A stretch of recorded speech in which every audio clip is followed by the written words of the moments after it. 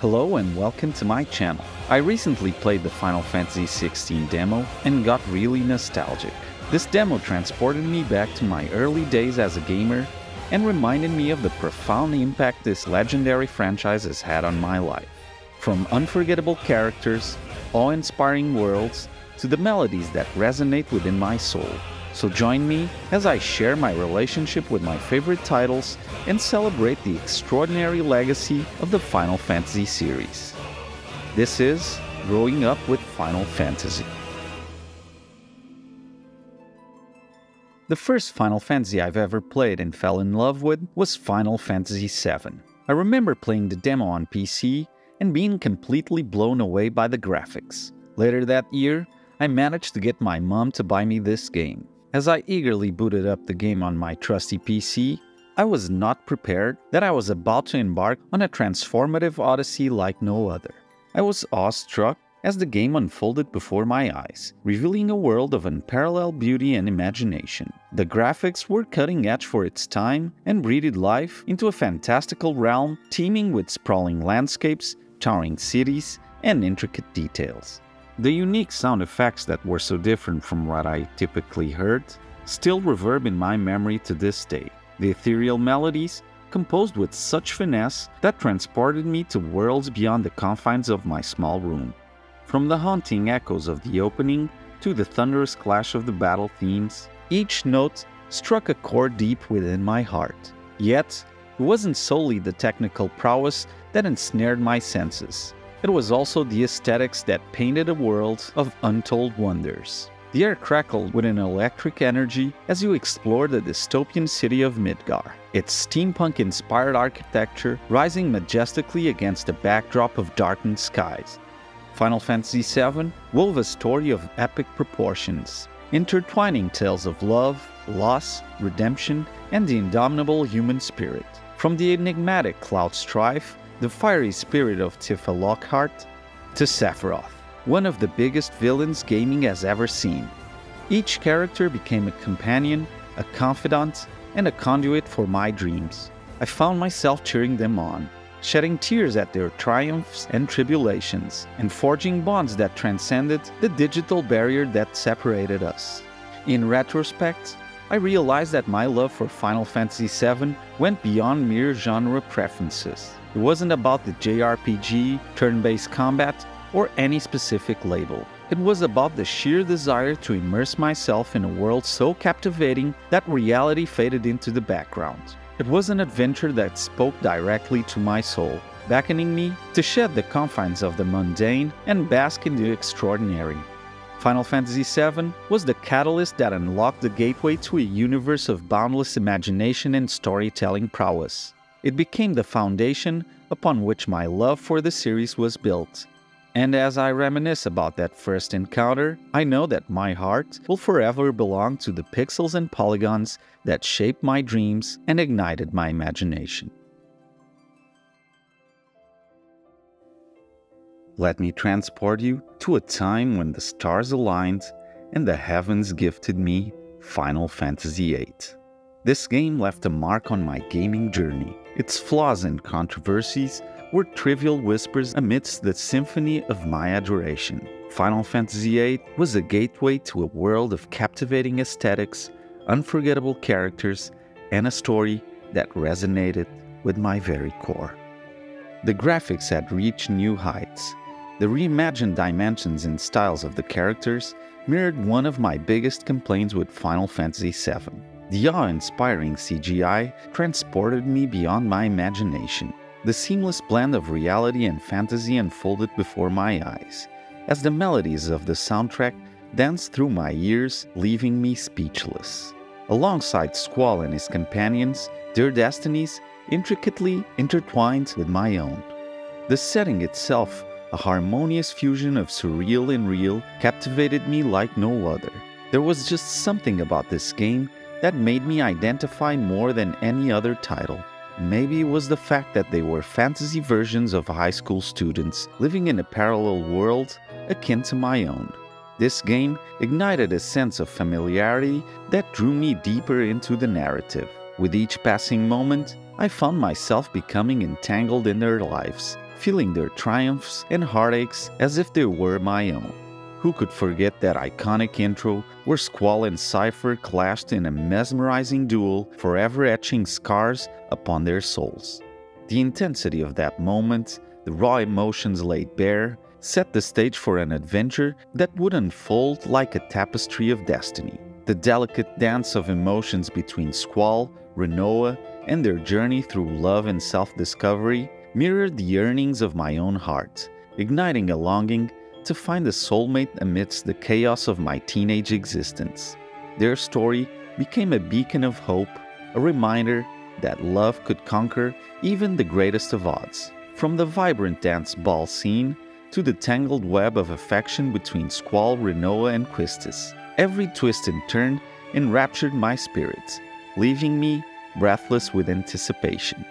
The twist that was the revelation of Laguna's intertwined fate sent shivers down my spine, unraveling a tapestry of interconnectedness that defied expectations. And when the final notes of the symphony ended, it left me with one of the happiest endings in Final Fantasy history. I found a profound sense of fulfillment.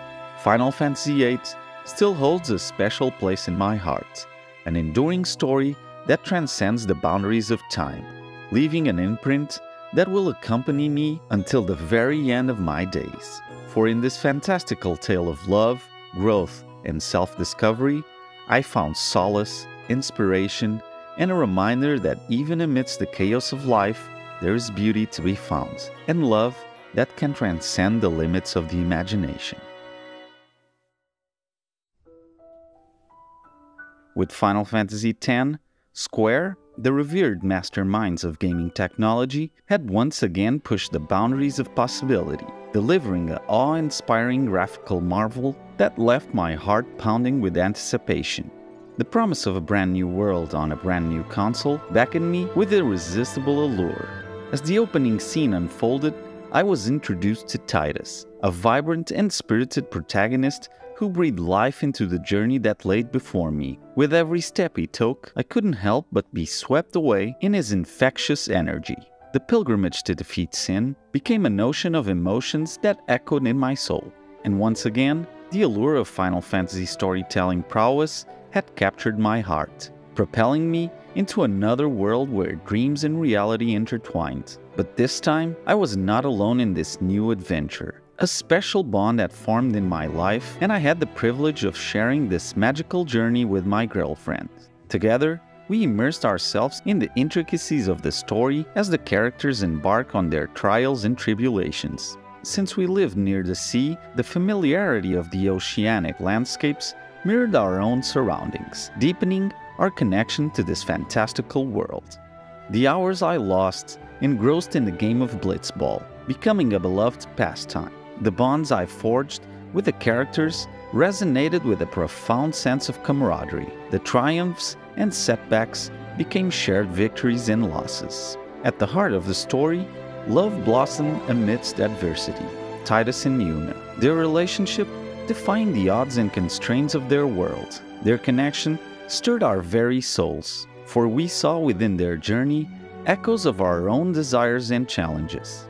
As their story wove its way into our hearts, we could not help but yearn for their love to triumph and transcend all boundaries.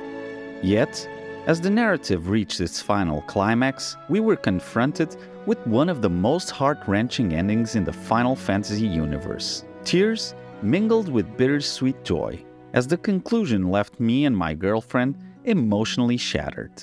It was a testament to the power of storytelling the ability to elicit such profound emotions, leaving an undeniable mark on us. Final Fantasy X became more than just a game. It became a chapter in the story of my life, forever etched in my memory. It represented a stage of growth and connection, a time when I shared an extraordinary journey with someone dear to my heart.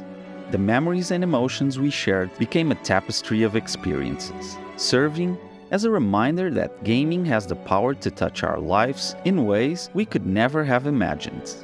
And so, as I look back upon Final Fantasy X, I carry a sense of wonder and nostalgia, a testament to the profound impact it had on my life. For me, it will always stand as a beacon to the beauty of shared experiences, to the bonds that transcend fiction, and the power storytelling has to touch our souls.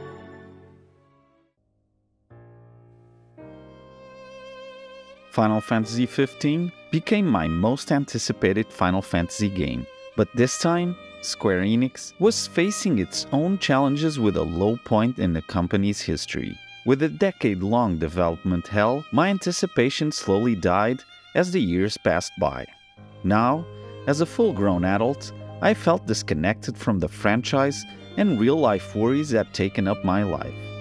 So came the faithful day where the game finally launched and the wait was finally over. As I booted up the game, I found myself caught in a whirlwind of nostalgia. The surge of emotions washed over and transported me back to the days when Final Fantasy held an irreplaceable spot in my heart.